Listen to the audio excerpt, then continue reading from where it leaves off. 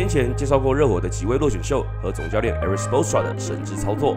回到台湾篮坛，也有一名教练不仅拥有丰富的夺冠经验，也非常会在关键时刻大胆启用角色球员。现在他正在率领富邦勇士激战总冠军赛。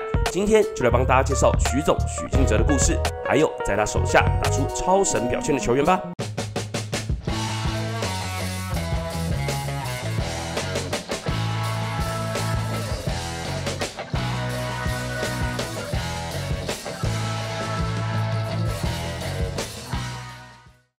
大家好，我是球员小编 AK 胖爷。哦，我只想找个球员资料，怎么连连到国外网站都这么慢？不然就是有区域限制，没办法连接，到底该怎么办？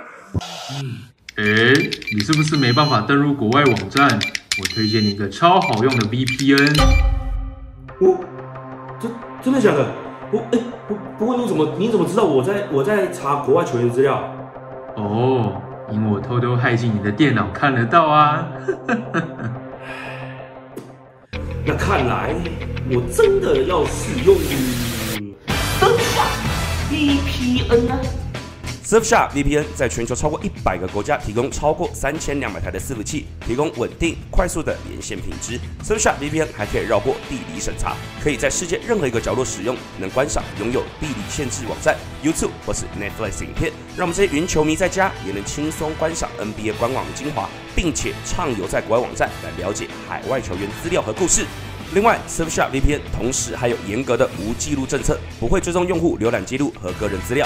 这样子，我们在看国外运动转播、查询体坛资讯和新闻都不怕担心各资外泄啦。此外，不论是 iOS 还是 Android 系统都可以跨区使用，而且一个账号可以在多个装置上使用。赶快找到自己的球友们一起体验看看吧！现在只要输入频道优惠码 BOUP 就可以享有专属优惠，还多送你三个月免费使用，并且还有三十天无条件退款政策。让你使用起来更加安心，还在等什么呢？跟着胖爷一起使用 Surfshark VPN 吧！蔡文成篮球生涯总冠军个人荣誉拿到手软，但他在篮球生涯并没有打过甲组球赛。事实上，从小就喜欢打篮球的蔡文成，本来国中就要加入校队。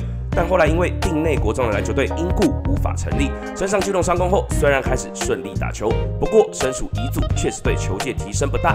大学就读张师大校队也是属于篮球社团性质，当时已经先斩后奏从事篮球路的蔡文成几乎失去了舞台。幸好在大四的时候收到岳盈丽的邀请，到台湾银行试训陪练，结果才两天就遭到球队退货。好在蔡文成在联练杯率领张师大打败有 SBL 球员洪志善率领的台北科技大学。这也开启他的 SBO 大门。对蔡文成印象深刻的洪志善，马上将这号人物推荐给总教练许晋哲。在许总严格的战术、体能训练下，蔡文成逐渐获得上场时间。从两千零九年开始，成为中华队的常客。在二零一三年，更是一举获得年度 MVP、总冠军赛 MVP、年度第一队的肯定，成为史上第三位获得双料 MVP 的球员，也有了本土洋将的美名，帮助浦原成功建立王朝。身高虽然只有一百九十公分，但是蔡文成并不惧于在内线与对方的洋将对抗。只是身材、体能没有优势的他，大多用头脑与对手抗衡，甚至有许多 PPT 网友把他球风跟 Manu Ginobili 比较。随着年纪的增长，蔡文成已经退居二线，但还是能遵照徐总的课表操课，并且督促年轻球员继续传承他的经验。明明不是新竹人，却在新竹念书的周桂宇，在高中之前都没有打过甲组的比赛，直到上了高中，回到台北就读南湖高中后，才渐渐打出身手，与队友简廷照被称作南湖双枪。在接下南湖战神曾博宇的棒子后，南湖依旧保有竞争力，尤其是周桂宇全能的球风。高三那年，场均十七点四分、八点三篮板、四点一助攻。根据不少网友的看球经验，当时在 HBO 的周桂宇就像是 Magic Johnson，高控位，能突能投也能传，在当时。主打跑轰战术的南湖高中，由周桂宇担任进攻发动机是再适合不过。上了大学的周桂宇加入的是刚从斗殴事件回到甲一级的台师大，虽然一开始没有获得太多的上场时间，但经过一年的适应后，逐渐打出在南湖时期的风采。在剩下的大学三年，场均得分都达到了双位数，投篮命中率跟三分球命中率也逐年上涨，同时也成为了中华白队的一员。即使爆发力不出色，但是身体条件已经具备职业的水准，在场上拥有超龄的判断力，还有不贪功的特质，都让周桂宇在大学时期的身价水涨船高。在霹雳选秀会被富邦勇士选中后，有球队里有林志杰、蔡文成、张宗宪等中华队前辈卡位，菜鸟时期的周桂宇上场时间遭到压缩，这也成为他更努力的原因。尤其老将们随着时间的推移，无法像年轻时打满整场，在练球时始终保持积极，并且心态稳重的周桂宇获得了徐总的青睐，在跟工程师的总冠军赛中获得比例行赛多将近一倍的上场时间，还用六十二点九趴的投篮命中率跟扎实的防守教练团，成功帮助球队。拿下二连霸，来到打得火热的总冠军赛，周桂宇再次打出身价，将今年最强的小洋将麦尼高守到怀疑人生，让他在 G 二仅有十三分的进账，还让他发生了六次失误。其实整个系列赛，麦尼高不断用乐色化挑衅，依旧可以将对方防到出拐丢头带，不得不佩服周桂宇在大赛时的沉着冷静，也佩服徐总的大胆调度。就是因为入选年度第一队、防守第一队、最佳进步奖，还有社会事件备受关注的曾祥军，国中时期就长到一百八十九公分，一看就是打篮球的料。但是这时候的他还没有受过任何的正统篮球训练，直到透过堂哥的介绍，才进入了古堡加上篮球队。由于天赋异禀，在一年的训练后，逐渐站稳先发脚步。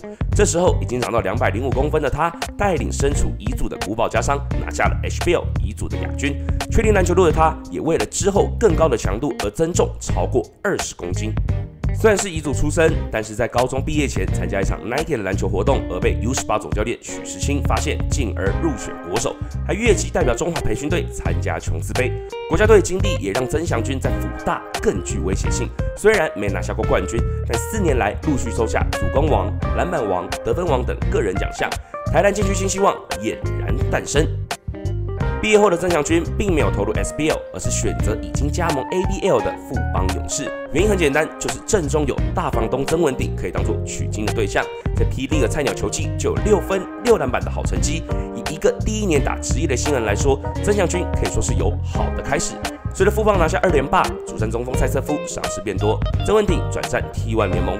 徐总认为曾祥军需要补上大防中的缺口，于是战术上给予曾祥军 pick and roll 跟 pick a pop，不仅能在挡人后快速跟进，也可以拉到外围进行投射，让调度多了许多弹性。在防守端更是完全不给对手大洋将面子。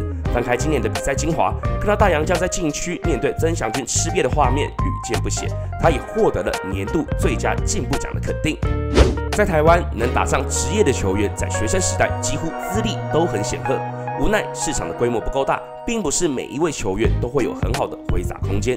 拥有一名炒好菜的总教练就非常重要。而富邦勇士总教练许金哲是球关注认为有如台湾 Spostra 一样的存在。现年五十岁的徐总是第一届在新中学篮球队的成员，在大学就读台北工专时期，一度是篮坛的明星球员。无奈在服役期间遭遇膝盖十字韧带断裂的伤势，不得不在二十四岁的年纪就卸下球员身份，在黄万龙教练身边学习到了防守第一的准则。这也是为什么现在徐总如此强调防守的原因。短暂待一年受伤后，徐总就开始长达八年的在新中学生涯。而回馈给母校最好的方式，就是培育更多的篮球好手，其中包含曾文鼎、吴代豪、简家宏等中华队的主战中锋。但随着在新中学篮球队的解散，徐总的下一站来到了 SBL，接手的则是拥有满满年轻天赋却无法兑现战绩的东风篮球队。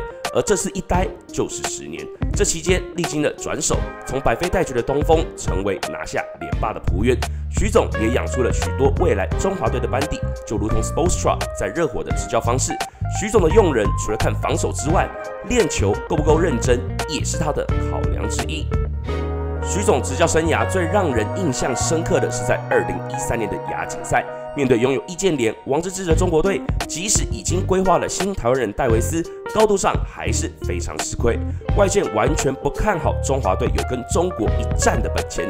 上半场一度落后高达十五分，没想到下半场风云变色，在黄金时代的老将和 Q 的发挥下，中华队不仅超前了比分，最后还以十八分之差完成队史对中国队的首胜。